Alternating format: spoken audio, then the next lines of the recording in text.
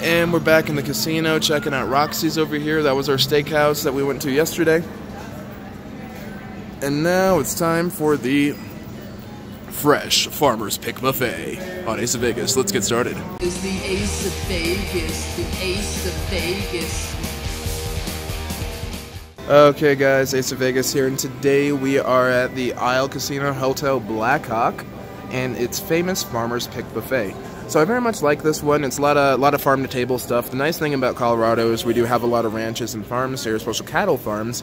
So the beef is often very good and very fresh, and we've had very good experiences with the beef so far. Um, at nighttime, it has a seafood buffet. Um, I didn't uh, get that one there, but I we did do the breakfast buffet yesterday, or the brunch buffet, I should say. Excuse me, yesterday, and I thought the brunch buffet was superior. So here's the dinner seating area. They roped this off during the during the day here but they have a lot of seating and it's a very popular buffet. Unfortunately, at this hotel, the uh, eating options are a little limited, but you know the buffet it's a hell of a buffet, I will admit. So local farm fresh, this is where they usually do the uh, steam products. So that's where you do the crab and all that. Let's get a let's do a walk around and see what we like. We've definitely got plates over here, so let's start strong with plates. And we're gonna go ahead and check the uh, salad bar first. I very rarely get salad at buffets. Um, and this one looks pretty fresh, but I don't usually do it. Oh, and they do have fresh sub sandwiches too, so that's nice. I think I'll get one of those. And just get one of those with breakfast here. Thousand Island. Good times, good times. Um, and then they do make some fresh salmon too. I think salmon are actually native Colorado. Oh, pardon me, ma'am. And then they also do pizza. Now, what I do like about this, we just did the changeover, so the pizza is 100% fresh right now. And I always do love fresh pizza, you guys know me. And going through, looks like they brought out some, oh, Italian sausage and marinara. Don't mind if I do. Awesome. Thanks, John. There we go. Get some fresh Italian sausage and marinara. Delicious, brilliant. Of course, they have roast rotisserie uh, baked chicken, local chicken, and vodka sauce penne too. And of course, you have the fried chicken, the mashed potatoes, and then they make some sausage gumbo here. Um, rice pilaf, I didn't care much for the rice pilaf last time. I tried it last night, didn't care for that much. And I think they got some fresh cornbread too, so it's always a good place to start.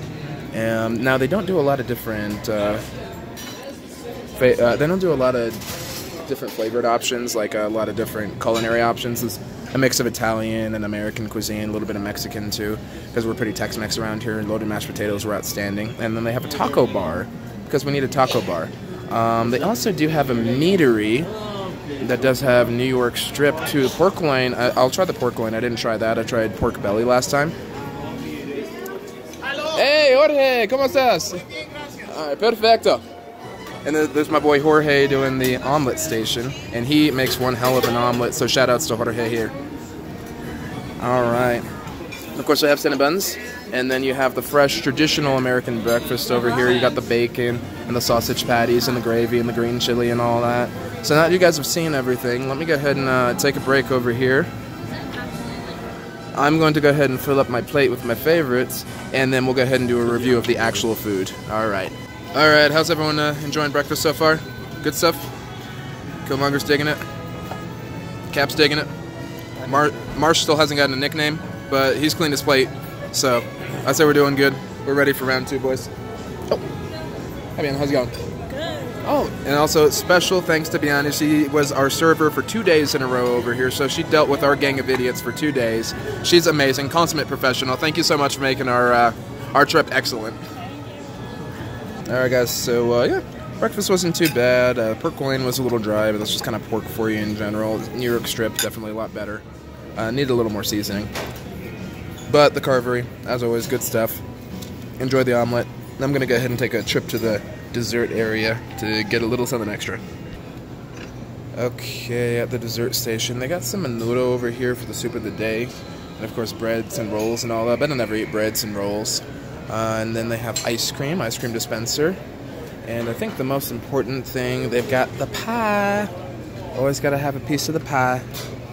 Um, donut holes. That sort of thing. Honestly, oh, pardon me, ma'am. Excuse me. Oh, here's the good stuff, though. So the little cakes. and brownies and things like that. But I think the most important thing is the red velvet cake.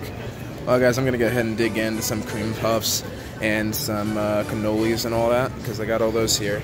I uh, hope you guys enjoyed the tour. If you did, feel free to go ahead and drop a like on the video and subscribe for more stuff next time. So until then, it's Vegas signing out, wishing you strong hands and the last plate.